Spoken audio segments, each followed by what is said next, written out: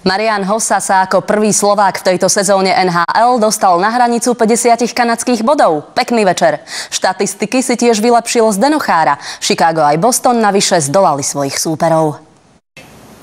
Semifinálové boje v hokejovej Tipsport Extralige odštartuje bitka o východ medzi odvekými rivalmi z Košíc a Popradu. Kto bude mať výhodu? Oddychnutý úradujúci majster alebo rozbehnutý Poprad? Ten len v piatok ukončil svoju 7 zápasovú sériu so zvolenom. Adam Žampa skončil v slalome v slovinskej Kranskej gore na peknom 14. mieste.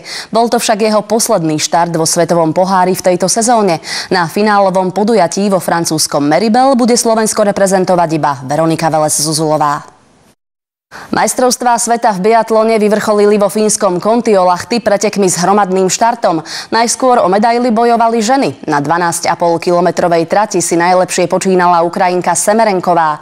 Slovenka Jana Gereková dobehla 12. Spomedzi mužov 15-kilometrový úsek najlepšie zvládol zlatý slovinec Jakov Fak. Žiadny Slovák neštartoval.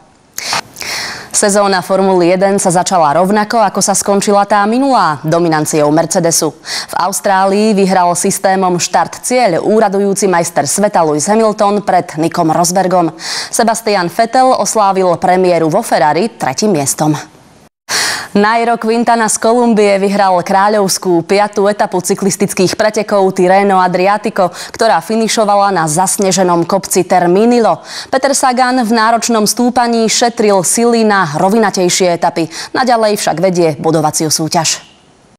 Play-off najvyššej slovenskej basketbalovej ligy sa poriadne iskrí. A to nie len na palubovke, ale aj v zákulisí. Po zápase Banskej Bystrice s Komárnom bolo poriadne dusno a lietali nielen pokuty, ale aj trestné oznámenia. No a Komárno už ukončilo štvrťfinálovú sériu s Banskou Bystricou. Na zápasy zvíťazilo 3-0. Dnes pre vás máme dvoch frajerov na záver. Tým prvým je samotný štvornásobný Oto a super kolega Peter Varinský, ktorému k štvrtému víťazstvu v rovnomennej ankete v kategórii športový moderátor srdečne v mene celej redakcie gratulujem. Várďo, si veľký frajer a máme ťa radi. No a náš druhý frajer je obranca Dynama Moskva Douglas, ktorý robil čo mohol, ale lopta si ho aj tak našla. Na Markíze vás dnes čaká výborný film 96 hodín odplata. Pekný večer a všetko dobré aj do nového týždňa. Dovidenia.